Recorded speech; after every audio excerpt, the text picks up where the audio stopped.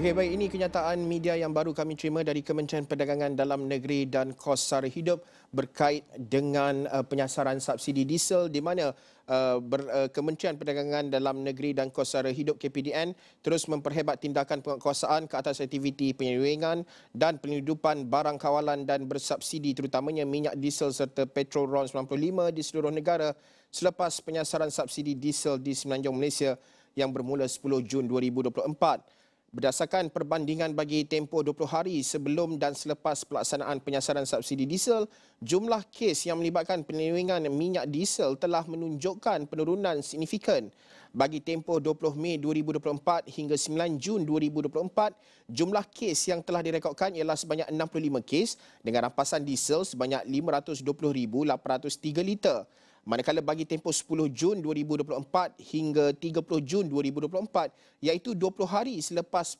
penyasaran subsidi ini dilaksanakan statistik menunjukkan penurunan drastik dengan hanya 14 kes telah direkodkan di seluruh negara melibatkan jumlah rampasan minyak diesel sebanyak 68,457 liter. Perbandingan ini menunjukkan berlakunya penurunan rampasan diesel sebanyak 87% selepas pelaksanaan penyasaran subsidi diesel dan jumlah individu yang telah ditahan bersabit kes diesel juga berkurangan dalam tempoh yang sama daripada 40 orang kepada seorang sahaja Bagaimanapun terdapat peningkatan bagi kes yang melibatkan rampasan petrol RON 95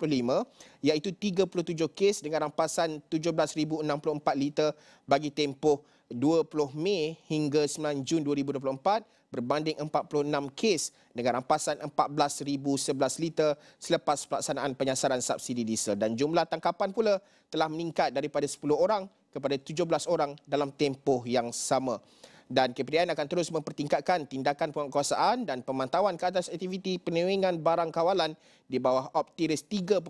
di seluruh negara dengan kerjasama rapat agensi penguasaan lain bagi memastikan isu keterisan dapat diatasi secara menyeluruh dan berkesan. Dan segala ini akan kita rangkumkan di astroawani.com dan buletin-buletin awani yang berikutnya.